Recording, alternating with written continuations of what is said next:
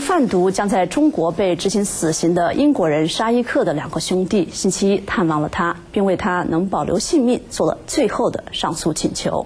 五十三岁的阿克马尔·沙伊克是三个孩子的父亲。他在二零零八年因试图走私四公斤海洛因进入中国新疆乌鲁木齐而被定罪，他将于星期二被处死。沙伊克的家人说，他有严重的精神健康问题，而且他是被人欺骗才加入到毒品走私计划当中的。英国首相布朗也曾恳求宽待沙伊克，